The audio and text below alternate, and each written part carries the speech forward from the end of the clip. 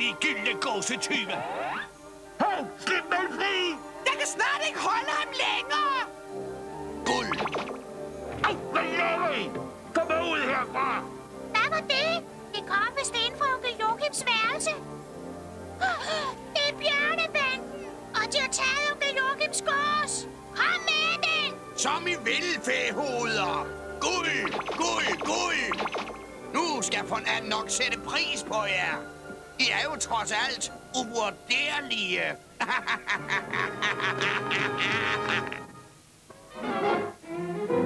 Who's got the sweetest disposition?